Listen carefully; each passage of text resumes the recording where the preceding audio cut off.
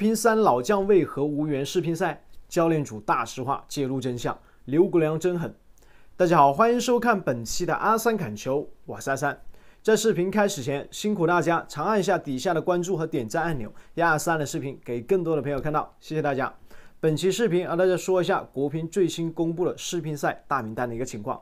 我们知道，那么目前的国乒啊正在紧张的进行集训当中，而我们接下来十一月份呢，即将迎来一场非常重要的比赛——世乒赛。这场比赛其实也是国乒呢继奥运会之后呢，在今年那最重要的另外一场国际性的大赛。所以，其实对国乒而言，如果说能够在这一次世乒赛当中取得一个好的成绩的话，那么其实今年度呢，那么也算是圆满完成目标了。所以，其实对刘国梁、对一众教练组而言呢，都容不得半点的松懈。他们必须在比赛开始之前呢，做好各类应对的一个工作。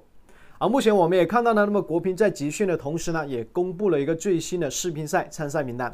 从这份名单当中，我们看到了熟悉的樊振东、陈梦、孙颖莎、王曼玉等那些球员，但是呢，我们却看不到许昕、马龙和刘诗雯这三个老将。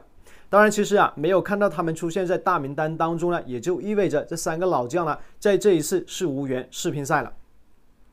当然，我们从目前这三个老将各自的社交平台发文来看呢，那么他们说是自己呢主动退出了这一次世乒赛，所以呢，其实啊，他们这样的一个决定呢，也得到了国乒教练组的一个认可和批准，所以最终呢，才没有出现出现在这一份名单当中。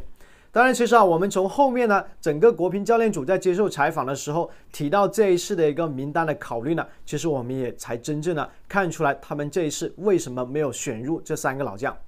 我们可以看到，那么国乒教练组呢，李隼在接受媒体采访的时候呢，他提到说，虽然说女队在东京奥运会完成了新老交替，但面对巴黎周期，国乒啊是希望能够在这个基础上呢，打造一个新的年轻的竞争集团。所以呢，国乒希望女队呢能够借这样的一个情况呢，形成新的一个竞争态势。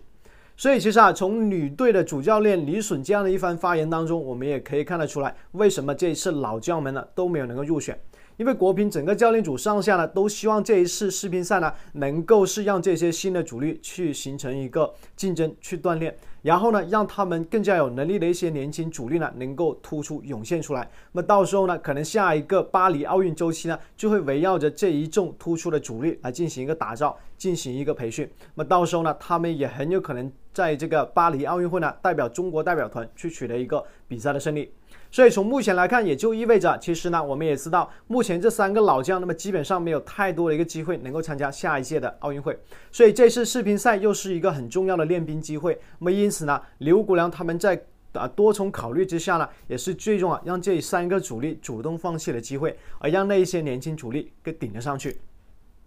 所以啊，其实啊，李隼他们这些教练组的一个采访当中，也是算是说出了大实话，也揭露了这一次为什么老将会缺席这一次重要比赛的一个真相。只能说，那么刘国梁这一次呢，为了整体国乒大队伍的一个发展考虑的话，也真的是下了狠手。但是啊，也没有办法。那么新老更替的一个情况，其实在此前也都遇到过。马龙年轻的时候呢，也接替别人呢，完成了这样的一个交替，也只能够说，作为球迷呢，也只能去接受这样的一个现实。毕竟呢，刘国梁他们的一个整体发展利益呢，也是为了我们目前国乒的一个发展去考虑的。我们也希望他们能够在这一次世乒赛当中呢，取得一个好的成绩。